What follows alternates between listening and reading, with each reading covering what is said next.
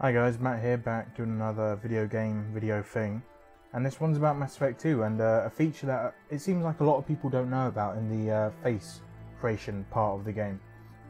Now, you know, most people go for all these different options and create their Shepard that way, and that's fine, but if you actually notice this little code down here, it's basically the code to your character's look. So, if I was to replace it with a bunch of rubbish, you know, you get that.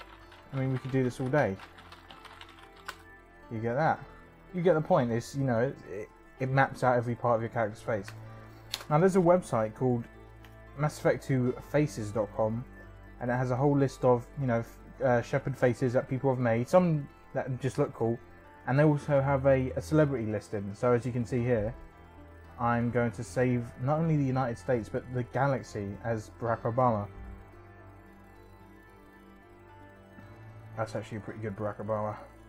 So yeah, next time you're going to play Mass Effect 2, I highly recommend going to this website, finding a face that you like and, and uh, using it, because they have some really good ones. So this is just going to be a short little video to show you that like, this feature exists and you should use it. And now we're going to do a little montage of celebrity faces that people have made. Have fun.